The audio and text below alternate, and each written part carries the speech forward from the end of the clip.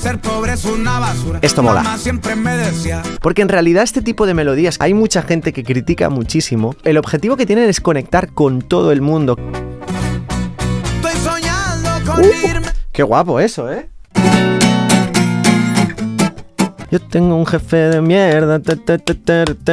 Esto es mega tiktokeable. ¿Qué pasa familia? ¿Cómo estáis? Aquí George Five en un nuevo vídeo reacción análisis. En el vídeo de hoy vamos a reaccionar a la nueva canción de Shakira junto a la banda de regional mexicano Fuerza Régida. Lo que se ha experimentado con los corridos tumbados y la música regional mexicana a nivel global el último año ha sido una locura. Ya empezamos con Peso Pluma y esa Bizarrap Session con todo lo que vino después. Para aquellos como yo que no conozcáis Fuerza Régida es un grupo estadounidense de música regional mexicana formado en el 2015 en el estado de California. He estado haciendo los deberes antes y he mirado un poquito los créditos de la canción y he visto que está compuesta por, bueno, por los miembros supongo que de Fuerza Régida junto a Shakira y Edgar Barrera. Aquellos que no conozcáis a Edgar Barrera es en esta edición de los Grammys la persona con más nominaciones, ya que está detrás de la mayoría de éxitos de reggaetón y del pop latino de hoy en día. Y bueno, vemos que está producida por la misma Shakira, Edgar Barrera y el productor Yo me voy a limitar a darle al play. Antes de eso, dale al like, campanita y suscríbete que se vienen muchas cosas y te quiero atento.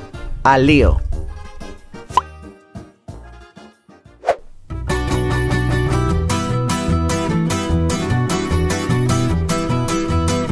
De entrada ya la instrumentación que estamos escuchando es claramente de regional mexicano. Tenemos una docerola, que es la guitarra de 12 cuerdas que se usa en el regional mexicano. Tenemos un tololoche, es decir, ese contrabajo. También tenemos los vientos muy característicos de este estilo de música, ¿no? Uh, bonito cambio ahí, ¿eh? Vale, a ver, vamos a mirar un momento la armonía. Vale, el tema vemos que está como en mi menor para si menor. Y ahora viene va a un la menor. Y para ir al mi menor, luego cogeremos nuestra guitarra de 12 cuerdas. 7 y Vale, no hemos hablado de eso, pero la canción se llama El Jefe. Entendemos que van a haber muchas referencias a un jefe que probablemente no sea el mejor. Mm, no nos engañemos, no le vamos a hacer una canción al mejor jefe del mundo. Llevo a los niños a las Este ritmo medio ska, ¿verdad? Marcando la contra, tumpa, tumpa, tumpa, tumpa, muy como que te invita a moverte, ¿verdad? Y ahora yo que estoy de pie y ya puedo hacer video reacciones de, de- de pie, aunque no queréis eso, bailo muy mal. cocina. Lo mismo de siempre. La misma rutina. Otro día de mierda. No, no da eh, pie a la imaginación, ¿eh? Tengo un jefe de mierda que no me paga bien. Mm, le- Letras bien, bien eh, metafóricas, ¿verdad?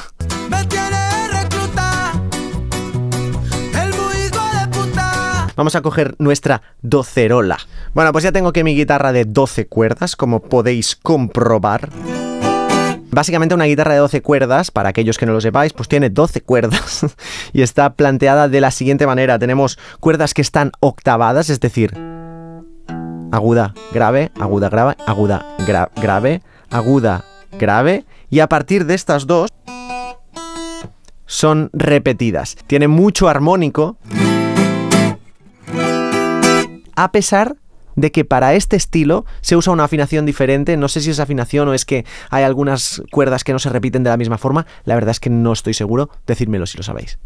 Estás soñando con irte del barrio. Tienes todo para ser millonario. Está gangsta, ¿eh? La Shaki, aquí, en este tema. Básicamente es esto.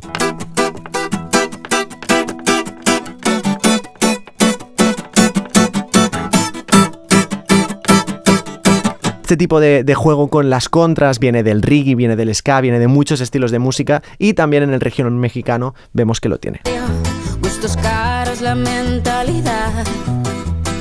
Solo te falta el salario. A nivel vocal, de momento, no es que podamos destacar muchas cosas de la interpretación. Es una canción donde el mensaje, en este caso, creo que es mucho más importante que cómo está cantada la canción. Dan las facturas. Ser pobre es una basura. Esto mola. Mamá siempre me decía que estudiar todo asegura. Porque en realidad este tipo de melodías que son como muy sencillas y que hay mucha gente que critica muchísimo, el objetivo que tienen es conectar con todo el mundo, que todo el mundo se pueda quedar con estas melos. Y este tipo de melos son aquellas que se quedan like a worm in your brain. Dicen por ahí que no hay mal que más de 100 años dura, pero ahí sigue mi ex suegro que no pisa ese De hecho, si no sé si os fijáis, pero el registro de voz en el que está cantando Shakira se nota que le va muy grave.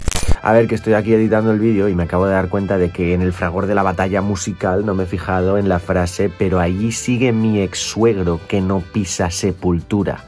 I mean, what? Va fuerte, ¿eh?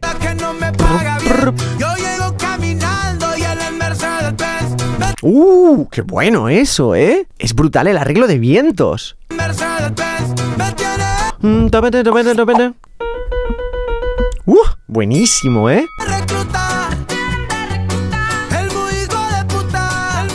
Los vientos para este tipo de estilo están marcando las contras igual que la guitarra. Pa, pa, pa, pa, pa, pa, pa,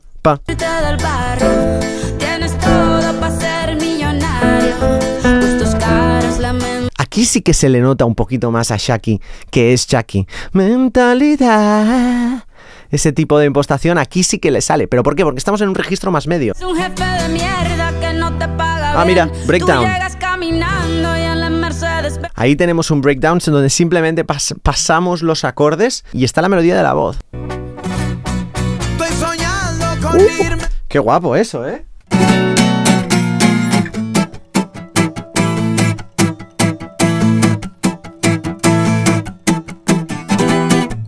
Esa especie como de retardando atresillado le da todo, todo el flow. Tengo todo para ser millonario.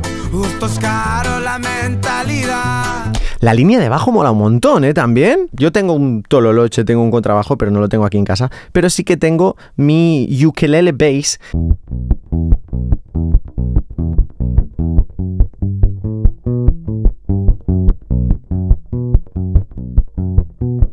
Solo me falta el salario. Claro, es un tema con un carácter social mega hipermarcado. Es decir, todo lo demás está de más en este caso. Pero lo importante aquí es el mensaje. Gustos la mentalidad. Solo me falta el salario. Y chimpuns.